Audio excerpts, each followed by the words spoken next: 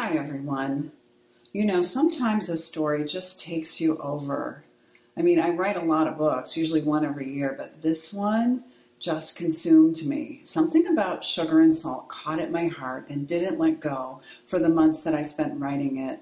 My stories always feature a person facing a difficult issue, but this one seemed even more compelling than usual. I think the book turned out as delicious as the cover art, but maybe not in the way you might expect.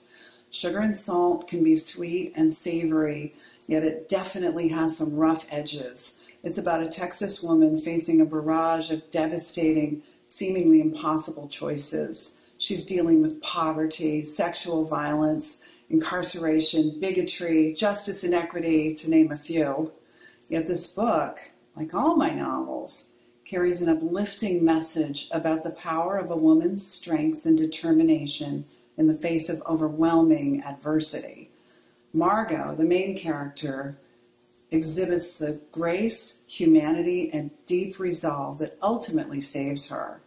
I hope you like the book, and I hope you'll recommend it to fellow readers looking for a story filled with emotional complexity and deeply felt truths about family, life, love, and ourselves. Sugar and Salt will be published in July 2022.